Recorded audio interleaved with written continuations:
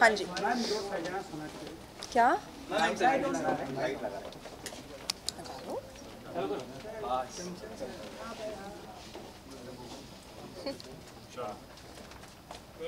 Ready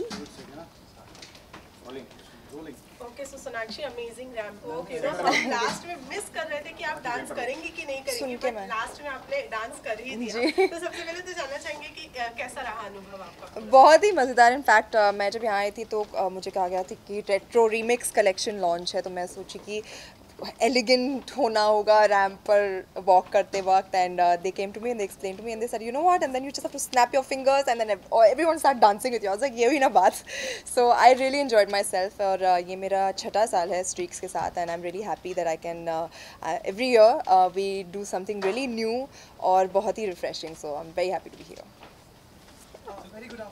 good afternoon Sumit ji कैसे हैं आप? बहुत खूब माशाल्लाह आप लग रहे हैं। थैंक यू ये रेट्रो मेरा ख्याल कभी हमारे जीवन से हमारे सिनेमा से मतलब उसकी जो लोकप्रियता वो कभी कम नहीं होगी ना? बिल्कुल नहीं। कुछ थोड़ा उस जमाने की कुछ बात हमें बताना चाहें? आप तो दोनों युगों की लगती हैं। थैंक यू ये आपने शायद मुझे सबसे बड़ा कॉम्प्लीमेंट दिया है बट आई थिंक वो युग और ये युग बहुत ही स्पेशली हमारे एंटरटेनमेंट इंडस्ट्री में हमारे फ़िल्मों में बहुत ही यू नो ज़्यादा uh, जुड़ा हुआ है। uh, या तो देखिए ना बेल बॉटम्स भी वा, वापस आ गए। शर्मिला टैगोर जी का जो आईलाइनर था अब तक चलता है मैं तो रोज़ पहनती हूँ। So you know it's it's all the small small style जो एक क्या बोलते हैं आइकॉनिक स्टाइल्स जो थे तब के आई थिंक वो हमेशा वापस आ ही आ ही जाते हैं अपने आप। And I think this time also they found their way back आपके लुक के बारे में बताएँगे आज के क्योंकि मतलब क्योंकि स्ट्रीक्स ने जी, तो जी। नाम लेना ज़रूरी है बार बार बिल्कुल और लेना भी चाहिए। तो इस लुक को कैसे क्रिएट किया गया और क्या डिज़ाइन था ये हेयर का वेल well, ये ये जो पर्टिकुलर स्टाइल है इसे फ्रेंच कैरमल वेव्स कहते हैं और हमारे बहुत ही टैलेंटेड हेयर स्टाइलिस्ट आए हैं स्वीडन से जोआकीम रूस जिन्होंने ये हेयर स्टाइल दिया है मुझे। हम चाहते थे कि कुछ अलग करें ना ना कि जो यू you नो know, मैं हमेशा करती आती हूँ क्योंकि रेट्रो रिमिक्स थीम था तो we could play around a lot और उन्होंने मुझे ये आज फो बॉब दिया है डोंट वरी मैंने बाल नहीं काटे हैं। हो गया नहीं नहीं मैंने बाल नहीं काटे तो ये इसे ही क्रिएटिविटी कहते हैं राइट तो बिना बाल काटे उन्होंने मुझे छोटे बाल दे दिए so I think that's great Hanji. Such a look from the retro, oh sorry, a film from the retro era that you'd like to be a part of if it is remade. Film from the, I, I really love uh, Rekha ji's role in Khun Bhari Mang and I think she had tried out also all the most amazing styles and she looked phenomenal in that film. I think uh, that if that film was to be remade today, I would love to be a part of it. and a song, we've seen you uh, in remixes. I've been, uh, one? It's uh, Friday Thank God it's Friday, Mungra, yeah, So so. still there's any, any other song that you'd like to be a part of? Mm, there's a lot, yeah, actually, but um, right now nothing's coming to my mind. Let me think. Uh, by the end of the interview, I'll give you an answer. yeah. उल्लेखनीय अभिनेत्रियां रही हैं Marlin मेनो और Audrey Hubble मैं कल आगे के समय में आपको भी याद किया जाएगा इस तरह से मतलब मैं अभी रिटायर हो सकती हूँ आपने इतनी बड़ी बात कह दी बट आई होप सो कोशिश तो यही है कि हम अच्छा काम करें एंड लोग जितने लोग uh, देखते हैं हमारे काम को वो उसे अप्रिशिएट करें। और मैं अपने अप, अपने काम के लिए ही जाना जा, जानना जानी जाना चाहती हूँ।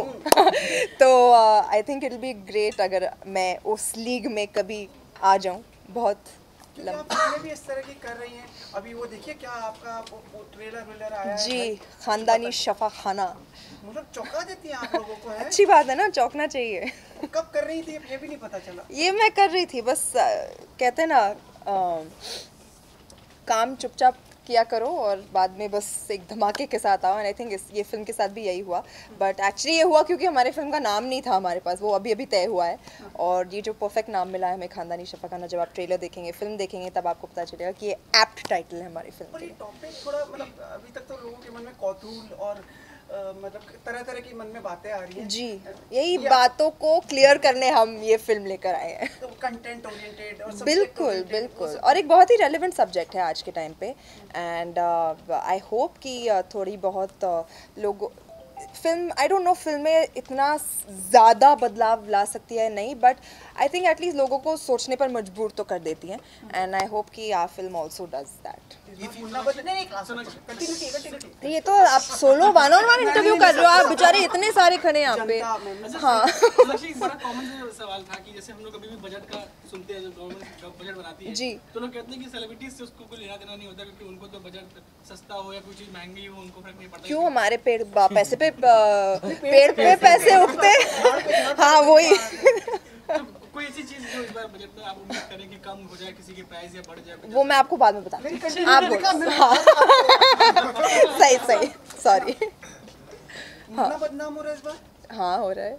आप हैं उसमें शामिल? मुन्ना है तो फिर मैं कहाँ से हूँ मुन्नी चेंज हो मुन्नी तो मैं थी नहीं कभी। पूछा यार कोई। ओके सोनाक्षी यू नो जब हम रिमिक्स और रेट्रो की बात करते हैं तो अभी तो uh, उसका ज़माना ही है ट्रेंड है चाहे वो लुक हो या फ़िल्में हो रीमेक्स वगैरह सब। लेकिन कोई एक ऐसी चीज़ जो आप चाहती है रेट्रो के टाइम की अब वापस रिटर्न आए? Um, मुझे रेट्रो म्यूज़िक बहुत अच्छा लगता है एंड आई थिंक एक्चुअली वो वो uh, चीज़ें भी आ गई है वापस। हम बहुत सारे गानों का रीमेक भी कर रहे हैं। Uh, एक रीपैकेज करके रीमिक्स करके आज के जनरेशन को सुना रहे हैं। तो वो I think I really like that trend और uh, मैं खुश हूँ कि कुछ कुछ गाने जो शायद आज की जनरेशन ने नहीं सुना हो वो टाइम के वो वापस लौट कर आ रहे हैं। So I I like this trend that is return very very लक्ष्य क्वेश्चन सुना हमने भी सुना है कि इस बार शायद लव ट्रायंगल भी देखने को मिल सकता है दबंग थ्री में।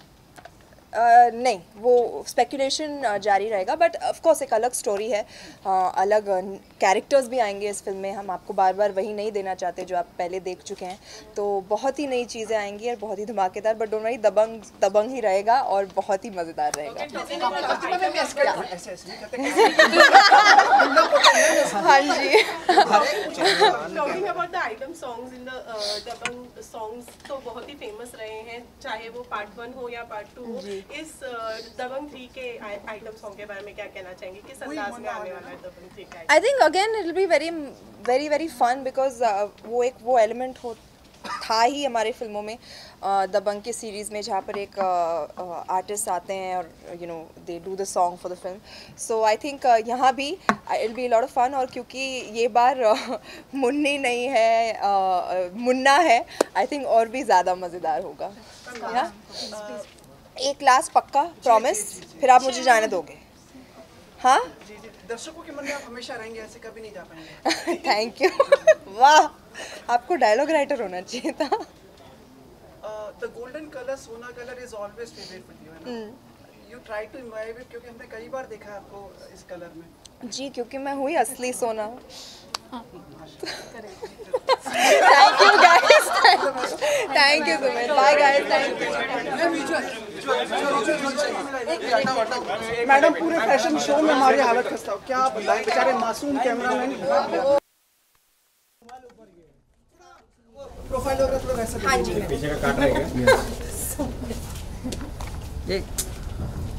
कितना प्यार करते हैं लोग आपको। पता है, धर्मेंद्र जी आपकी तारीफ़ कर रहे हैं। हाँ। जी जी। वो अब I am so he so fond of me मैं बचपन यस में यस यस वो कंप्लेन करती थी ईशा आना की थैंक यू थैंक यू ये ये लोग भी मिस्टर संजय लीला बंसाली से कम नहीं है। डिमांडिंग रहते हैं ना। अच्छी बात है तो अच्छी पिक्चर बन रही है। हाँ? एक बार आप भी आइए ना। आप उनको बोलिए ना। Thank you thank you Thank you, thank thank you you, thank you. Guys bye thank you